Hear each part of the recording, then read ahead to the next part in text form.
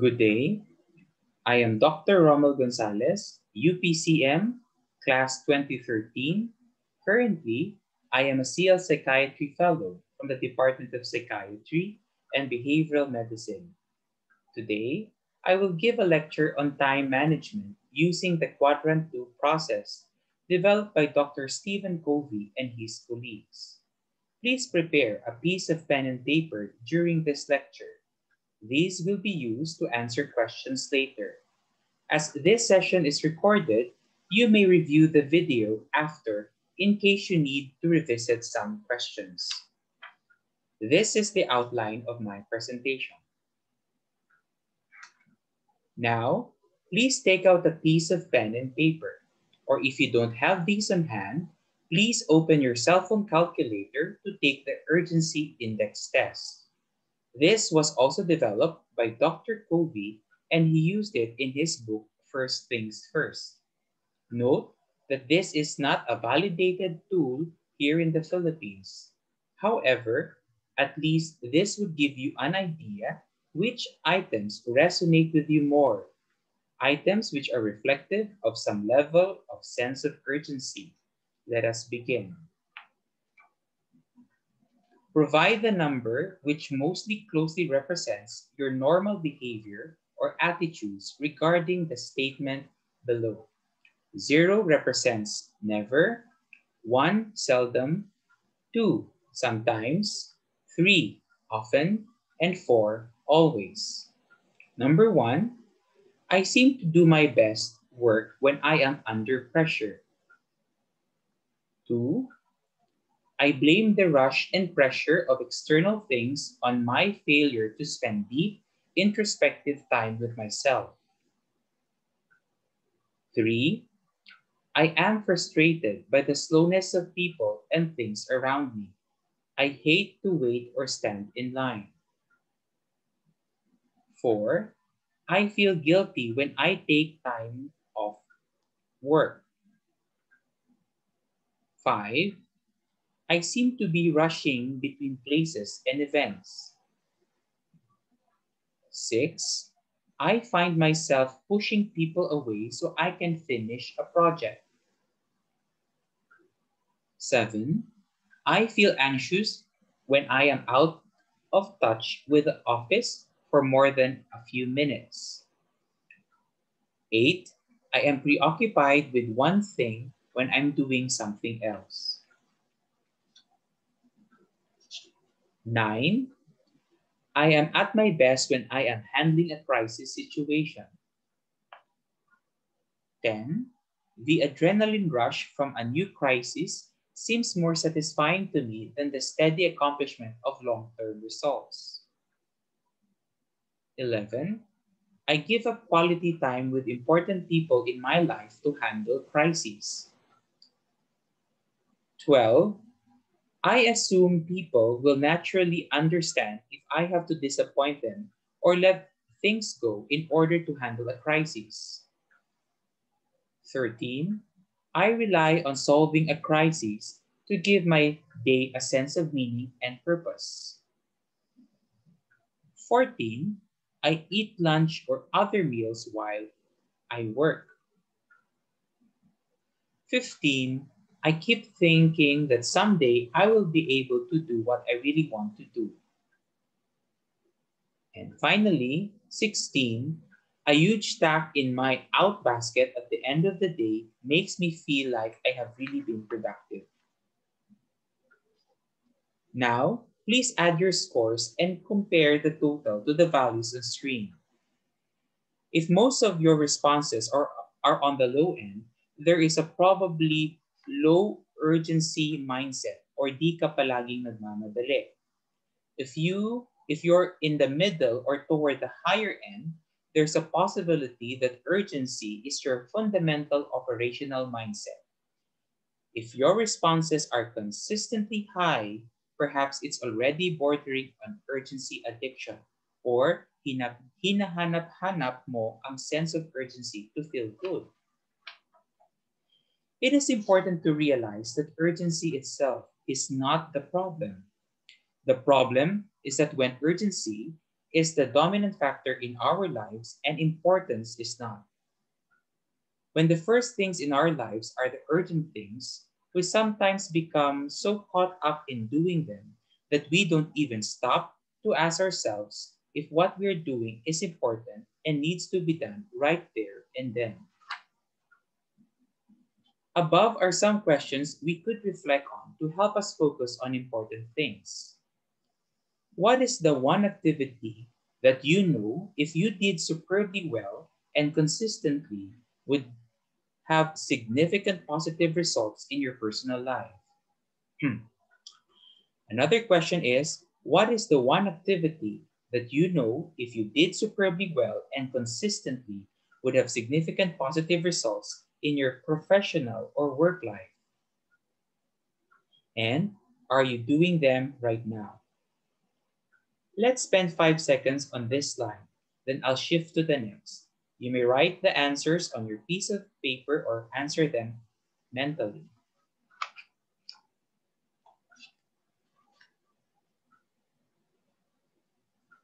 Okay, please keep those questions and corresponding answers on the side for now, and we will review them later. Let us shift our attention to our case vignette and see later on how we could apply the principles of Quadrant 2 time management. This is the case of MS, a medical student in a university in, in Manila.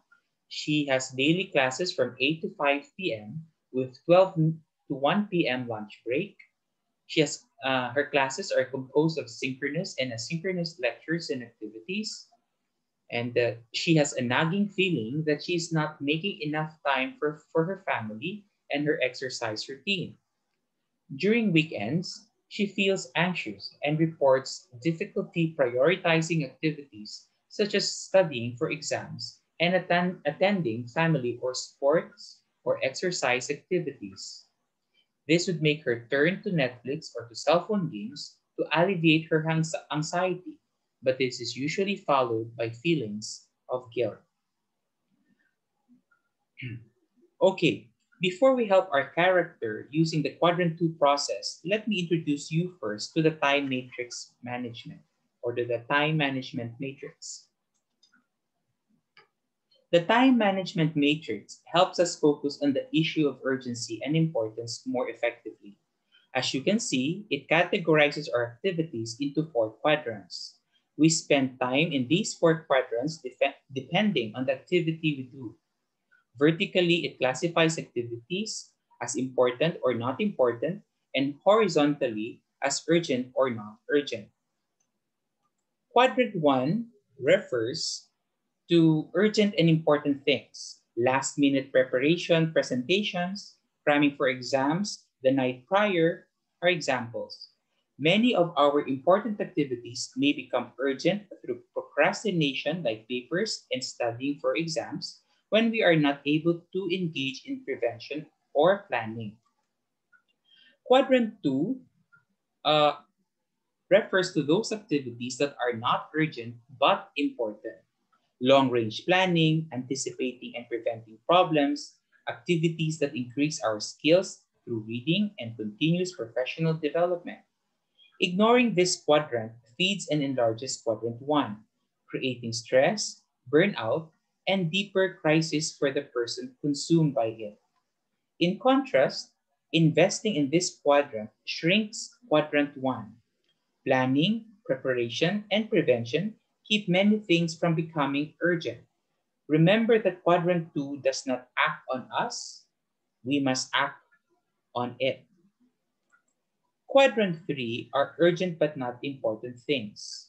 Many phone calls, group messages, for instance, some individuals feel that they must respond to Viber, Telegram, or FB Messenger messages immediately. But when asked to reflect if they really need, needed to respond ASAP, they realized that it wasn't necessary. The noise of urgency creates the illusion of importance, but the actual activities, if they're important at all, they would be only important to someone else. It is called the quadrant of deception.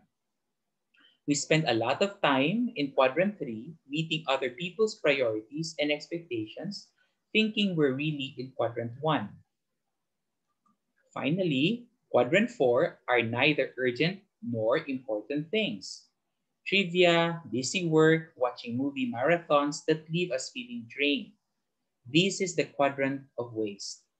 We are sometimes, we are uh, sometimes so battle scarred from being tossed around in quadrant one and three that we often escape to quadrant four for survival. However, quadrant four is not survival. It is deterioration. It may initially give you a sense of excitement, but we soon find there is nothing there. If you were to place each of your last week's activities into one of these quadrants, where would you say you spent the majority of your time? We should think carefully as we consider quadrants 1 and 3. It is easy to think because it is urgent, it is important. A quick way to differentiate between these quadrants is to ask yourself if the urgent activity contributed to one or several of your important objectives of the week. If not, it probably belongs to quadrant 3. It is most likely that we spend majority of our time in quadrant 1 and 3. Now, let's go back to the questions raised at the start. First, what is the one activity that you know if you did superbly and superbly well and consistently would have significant positive results in your personal life? And second, what is the one activity that you know if you did superbly well and consistently would have significant positive results in your professional or work life? Analyze which quadrant your answers are in.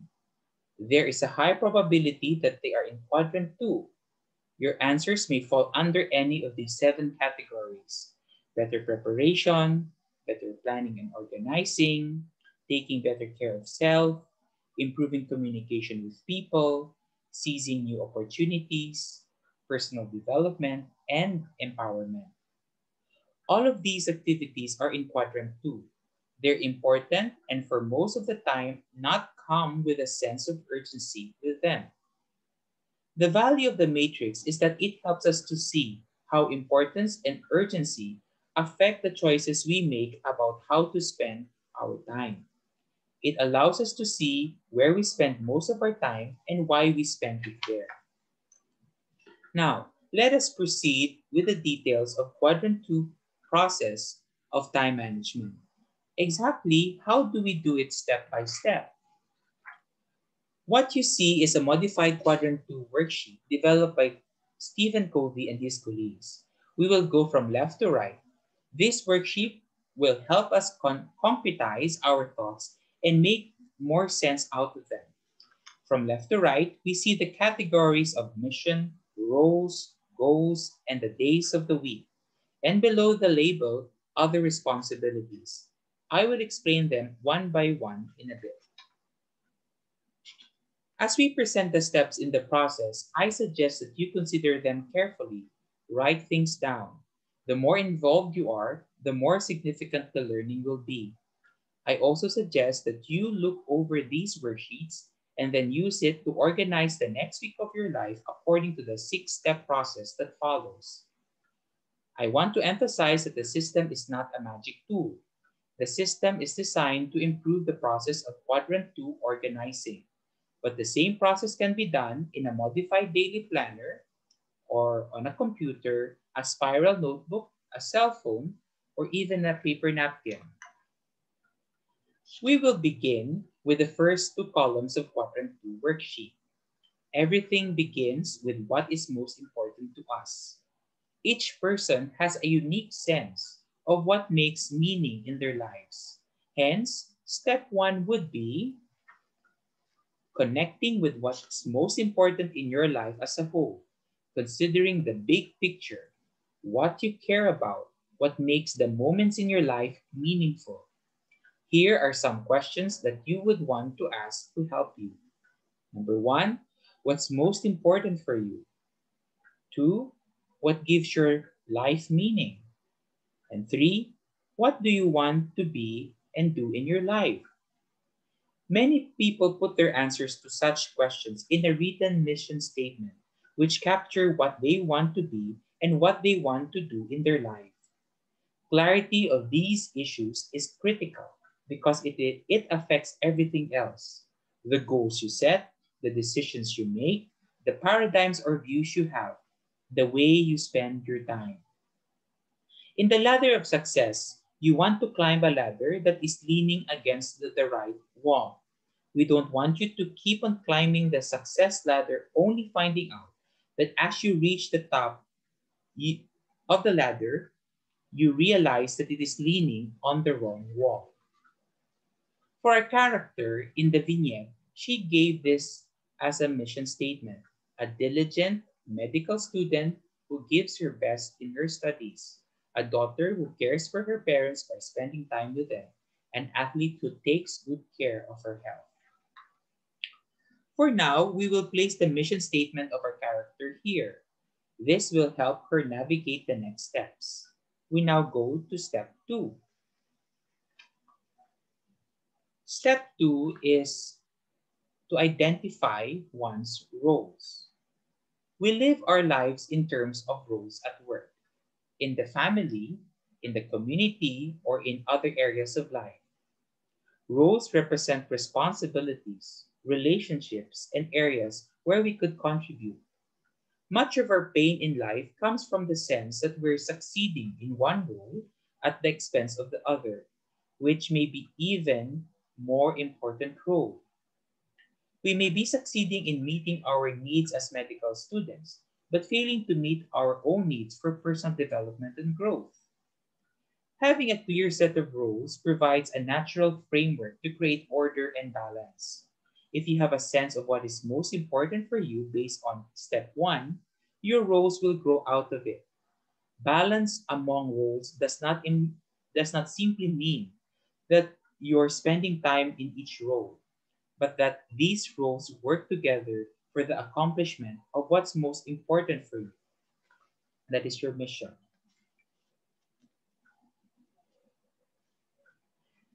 List the roles that come to your mind in whatever way feels comfortable for you. Don't be overly concerned about getting them right the first time. It may, it may take some time before you feel they capture the various facets of your life in a way that works for you. There is no set way to do it.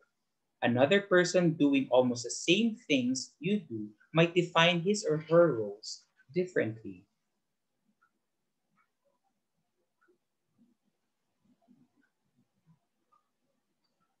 Have a separate foundation rule called, called Sharpen the Saw, which describes the energy that we invest in increasing our personal capacity in the fundamental areas. These are the physical, social, mental, and spiritual areas. We separate this rule for two reasons. First, it is a rule that everyone has. And second, it is a it is it's foundational for success in every other role. We often get so busy that we forget to sharpen our saw. We may neglect to exercise or fail to attend to our key relationships, or we may not be clear about what's important and meaningful to us.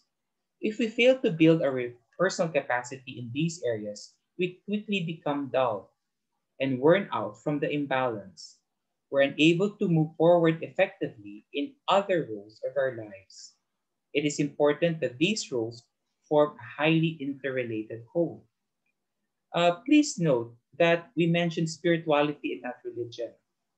The difference is that religion is a specific set of organized beliefs and practices usually shared by a community or group.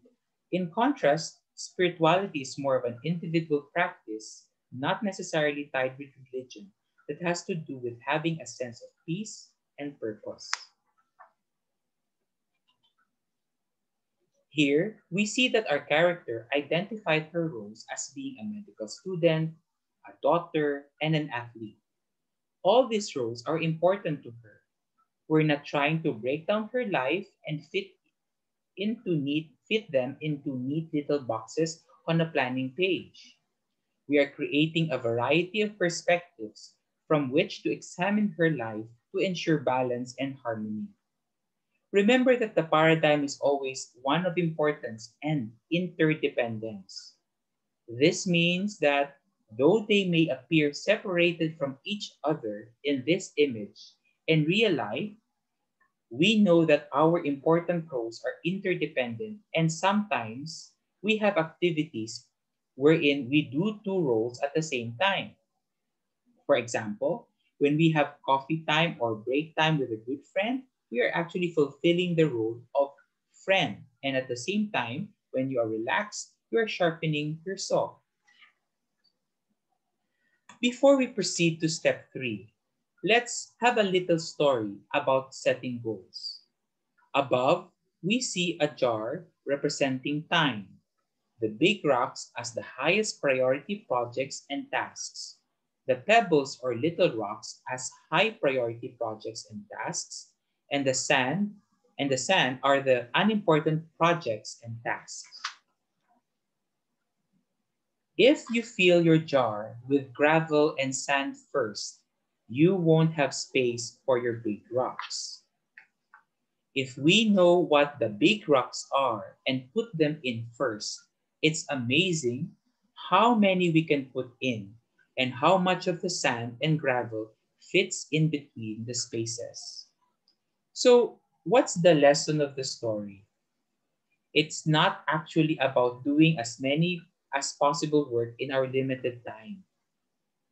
Regardless of what else actually fits in, the key point is that the big rocks or the highest priority projects and tasks, our quadrant one and two goals, those that are most important are in first. So from that story, we now proceed to step three. With your roles identified, you select quadrant one and two goals in each role. You may ask yourself this question. What's the most important thing I could do in each role this week to have the greatest positive impact? You'll probably have several goals you'd like to set in each role. But for now, limit yourself to the one or two goals that are most important. You may even feel, based on your inner compass, that you should not set goals in every role this week. Write your goals in the goals area of the weekly worksheets. So this is where you put your goals based on the question raised or questions raised a while back. For our character in the vignette, these are her stated goals for the week.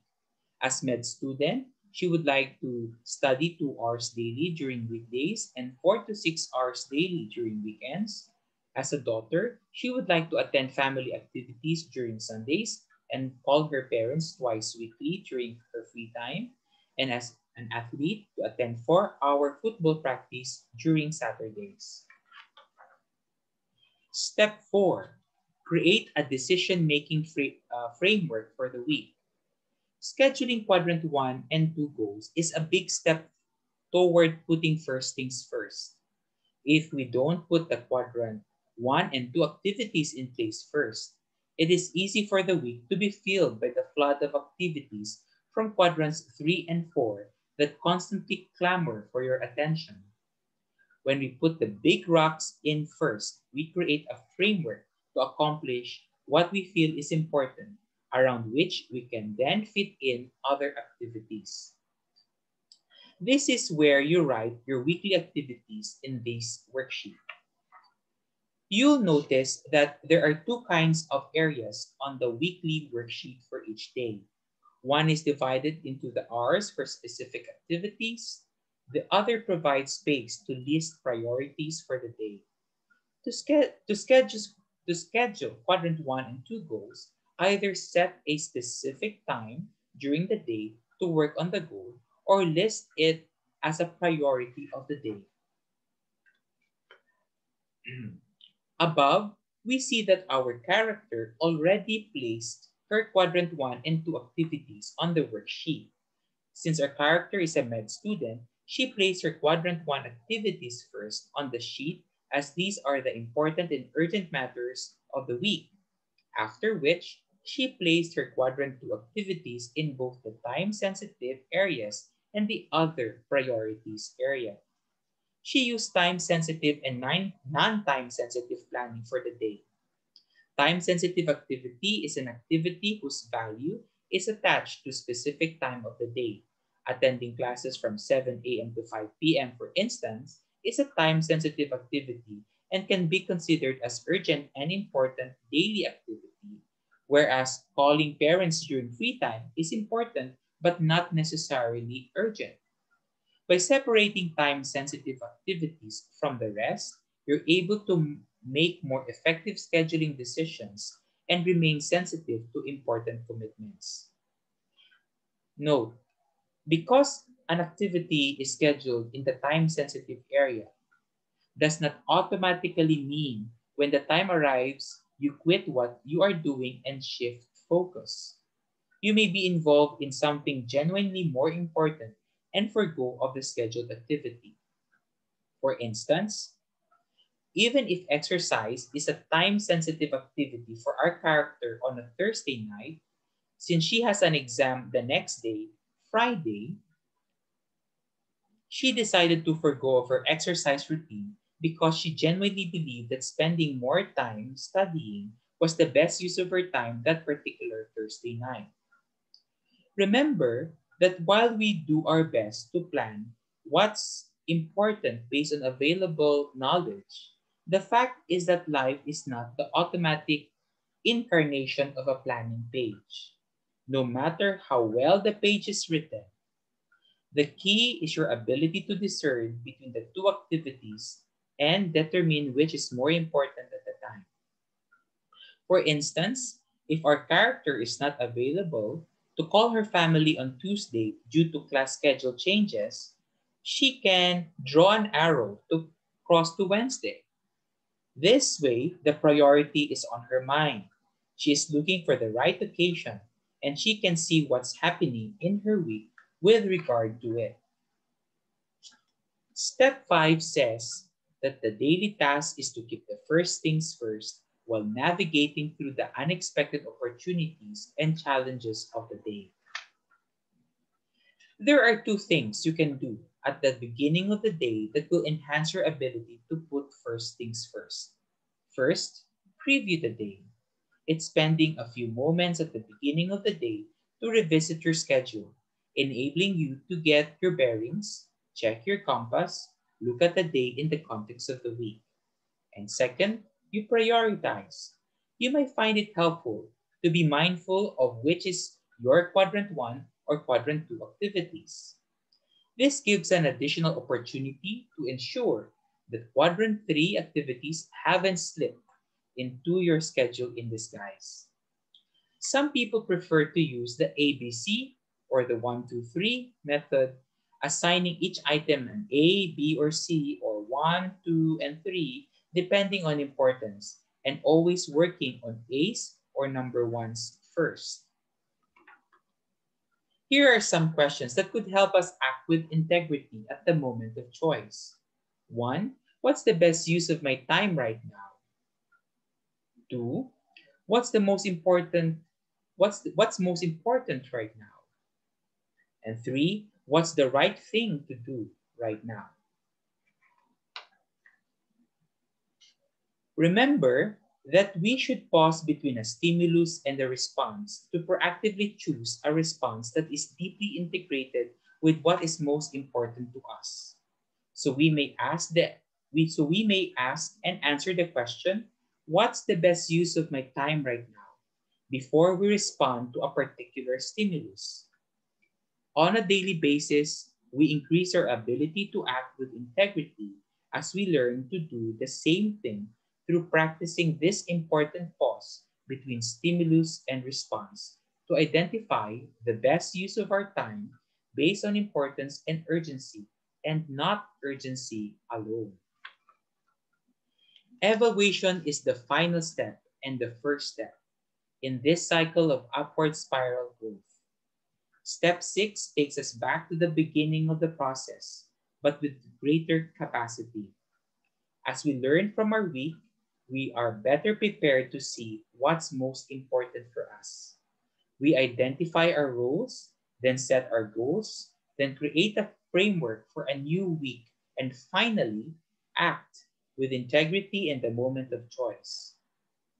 As we organize, act, and evaluate, organize, act, and evaluate, organize, act, and evaluate, our weeks become repeated cycles of learning and growth. Unless we learn from our daily and weekly experiences, we will keep on making the same mistakes, struggle with the same problem week after week. At the end of the week, before you organize the following week, ask yourselves this, ask yourself these questions. What goals did I achieve? In making decisions, did I keep first things first? What challenges did I encounter? How did I overcome them? What goals did I did I not achieve? What kept me from accomplishing these goals? What can I learn from the week as a whole? The quadrant 2 organizing process reinforces the importance paradigm. The greatest value of the process is not what it does to your schedule, but what it does to your mind. As we begin to think more in terms of importance and not just urgency, you begin to see time differently.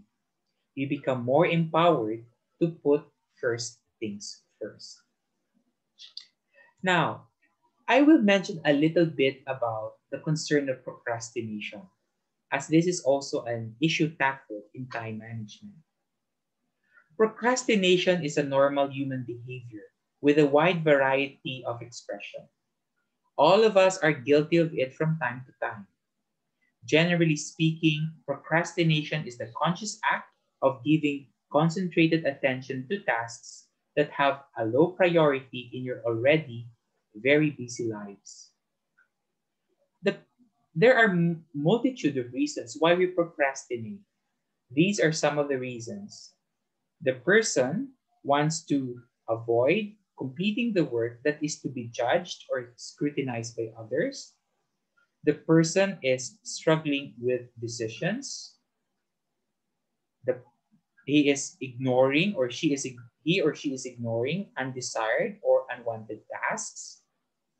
He or she has in her, uh, has inherent ability to say no to requests for for her time or for his or her time and effort, or he or she is struggling with perfectionism.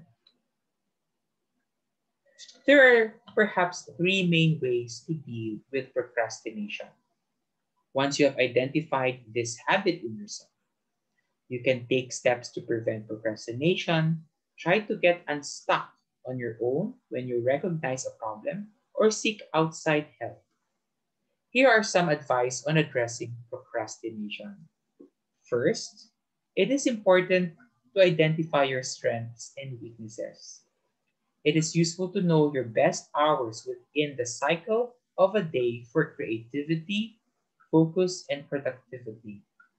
When you are aware of your own rhythms, you can use them to your advantage, such as by not scheduling tasks that you dread for a time of the day when you are typically at low productivity. Second, remove distractions from your working environment, such as turning off smartphones, email notifications, social media, and uh, so on during your study time. Finally, use tools that promote concentration and focus. Some use the Pomodoro app or a similar app known as forest. These tools vary from person to person, but might include background music, white noise, subdued lighting, and so on. Of course, don't forget to use the quadrant 2 process I just described a while back. Finally, many people who are struggling with procrastination need an external source of support to help them overcome the problem. This help can come from mentors, mental health professionals, and peers. For mentors, mentors are rich in their life experience and generous in their desire to support others in earlier phases of their career. They can give you advice on how to deal with procrastination based on their own experiences.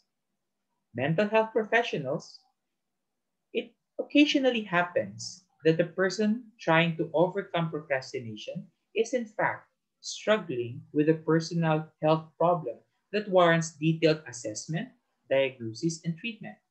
For instance, the person may have anxiety disorder, ADHD, or depression, preventing him or her from focusing on, on his or her studies. Peers. Our peers can be, can be a tremendous support as we strive to overcome procrastination. Many have struggled with similar issues, have implemented their own solutions and strategies that we can learn from vicariously. Finally, published in other resources. There are many online resources and books dedicated to, the, to defeat uh, procrastination. Many of these may resonate with you, others may not. Hence, it is based on goodness of fit with your need. I hope with this lecture on time management, you were able to learn the importance of putting first things first in your journey as medical students. These are the books I used in making this lecture. And that was my, that was my last slide. Thank you very much and good day, everyone.